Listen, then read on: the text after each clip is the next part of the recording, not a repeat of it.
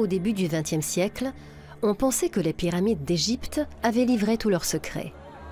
Pourtant, il restait encore bien des merveilles à découvrir.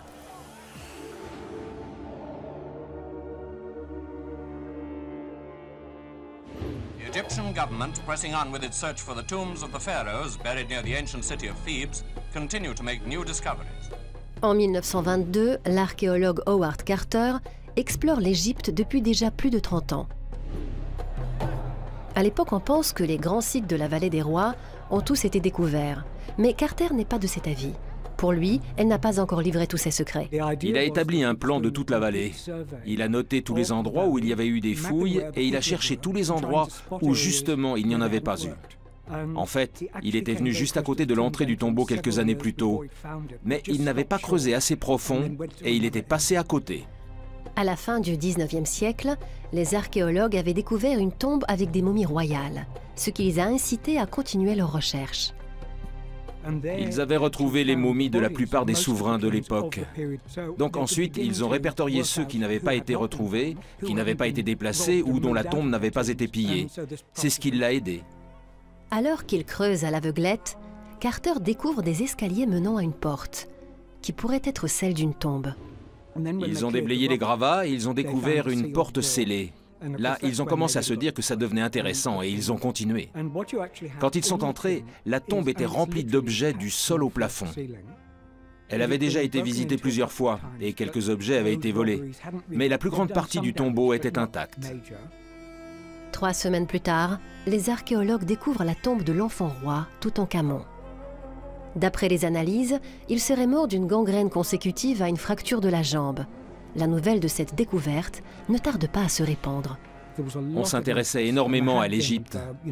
C'était le cas depuis plus d'un demi-siècle. Donc une telle découverte a tout de suite fait la une des journaux. And here's the boy king's golden sarcophagus, lined with plates of solid gold, carved inside and out. Radiographie, analyse ADN. Les recherches sur les pièces retrouvées dans la tombe vont se poursuivre pendant plusieurs décennies, bien après la découverte du tombeau. Elles permettront d'apprendre énormément de choses sur le 11e pharaon d'Égypte et sur l'ancienne Égypte en général. Le règne du jeune Toutankhamon fut très court, mais la découverte de sa sépulture en a fait l'un des plus célèbres pharaons égyptiens. It's ironic to think that Tutankhamun should be more widely known today than 3,000 years ago when he ruled in the land of the. Ça reste encore aujourd'hui l'une des plus grandes découvertes archéologiques en Égypte. La plus grande découverte de ce type. C'était une découverte incroyable. Après 3000 ans sous terre, la momie de Toutankhamon et les objets qui étaient dans son tombeau sont aujourd'hui exposés dans les musées. Des milliers de personnes les admirent tous les jours. La découverte de sa sépulture illustre la fascination suscitée par les civilisations.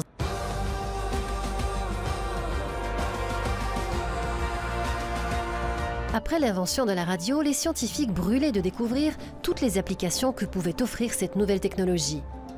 L'une d'entre elles fut découverte complètement par hasard et allait totalement bouleverser notre façon de cuisiner.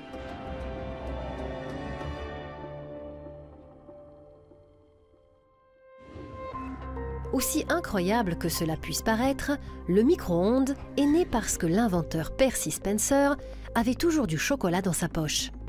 Durant la guerre, ses travaux ont permis d'augmenter la production du magnétron. Son équipe et lui sont alors impatients de découvrir ses nouvelles utilisations potentielles. D'un point de vue technologique, c'est très intéressant. Mais c'est surtout un aimant qui dévie les électrons pour leur donner une certaine trajectoire, ce qui permet de produire une onde.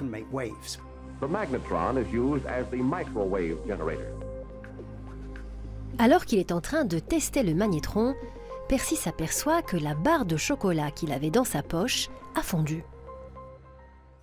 Du coup, il s'est dit, tiens, je vais poser de la nourriture à côté pour voir ce que ça fait.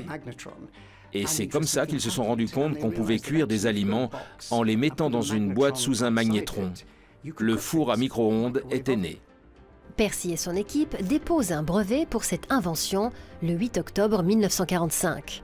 En 1947, Titan commercialise le premier four à micro-ondes, le Radarange. And here's the real breakthrough. The oven uses radio waves at the frequencies used in radar. This reheats the meal in an incredibly short time. Si on voulait en acheter un, il valait mieux avoir une grande cuisine.